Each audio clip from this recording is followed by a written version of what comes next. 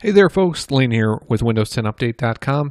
And today I just want to go ahead and show you how to make sure that Microsoft Edge is syncing content between different devices. So if you have multiple Windows 10 devices, or maybe a Windows 10 uh, desktop or laptop, and then a Windows 10 mobile phone, Microsoft Edge will sync certain things uh, across those different devices. Unfortunately, right now it will not sync open tabs, but it does sync things like uh, bookmarks and passwords.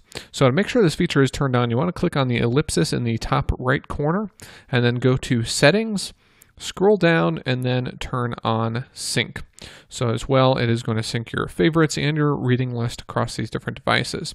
So that can be very helpful. Oh, we haven't heard anything about tab syncing, but I would assume that at some point in the future, Microsoft will be adding that feature. That's it for today. Thanks for watching.